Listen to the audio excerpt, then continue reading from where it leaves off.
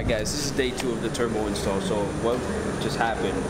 You know, I didn't really record it, but Bobby out here just laughing. laughing. we did. So, yo, forget Bobby, bro. Forget Bobby. So this is what we did. With me. So I can't even see this shit. So- Let me present.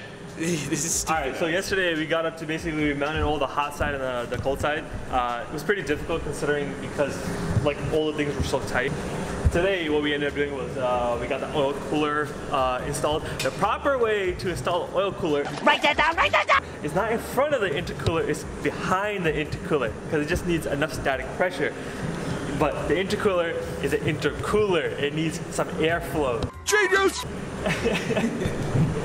So we got the mounted to the, the plastic thingy So under tray. let me see if I can show them. Real quick. Yeah, yeah. So it's mounted there. It's back there. It's hard to see, Yeah, but it's, it's, a Setrab it's right there. cooler too. Don't get none of that BS machine, Yeah. shitty moto. Yeah.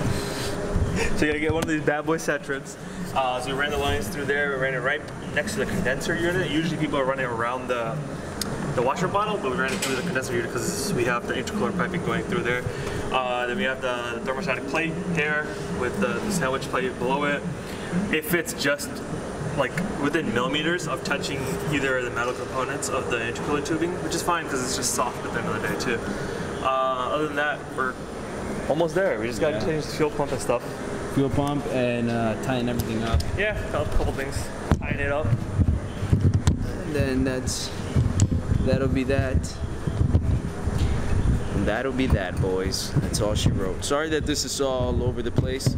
It's just us kind of like trying to figure out where the hoses are gonna go, how everything is gonna fit, you know, and messing around with it. Uh, The kit is good, yeah, it's a good kit. but like most things, uh, that It's not always. It doesn't fit 100%. yeah. And that's why the instructions are very iffy. Yeah, the because instructions they. are. That's one thing that I will say about this. but then again, it is very straightforward, Yeah. unlike most other cars.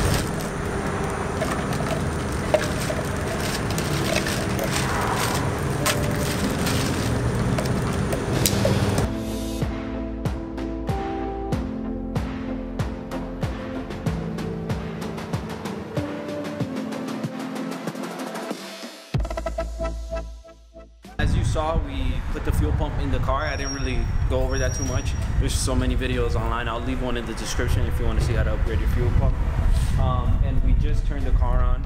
Um, just to, oh, actually, we put some new oil into it and we let it run for a little bit after we tighten everything down.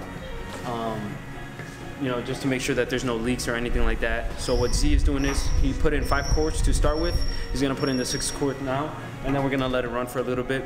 At first, the car wouldn't start because we already had the um, four bar uh, sensor in there, and it wouldn't start because of that. So then Z realized that that was the issue. So, you know, he put in the stock one, and the car turned right on. Yeah, because the stock tune is not calibrated for that valve sensor because it has increased uh, resolution. So with the stock one, it, it was basically thinking there wasn't enough air pressure, so it wasn't giving the fuel. Facts. So uh, he just put in the last quart. We're gonna turn it on again, let it run for a little bit, make sure there's no leaks or anything like that. And then uh, more oil. And then there's only a couple other things we gotta do before before we can, uh, you know, actually get it running and stuff like that. I know. You seen the design you put my car? Shit, fine. Recording? Yeah, boy. Yo, Bobby's mad ugly, bro. Look at this shit. Right now. Bro, look at this thing.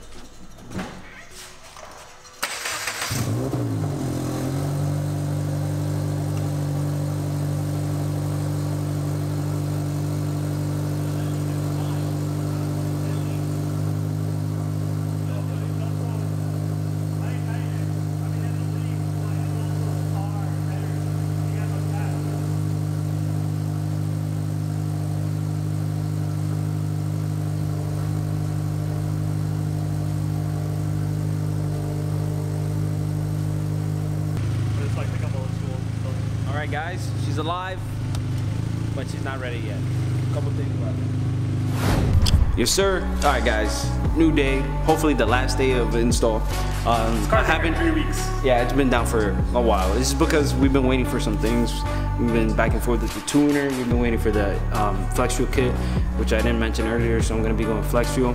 I'll explain all that later in a different video, but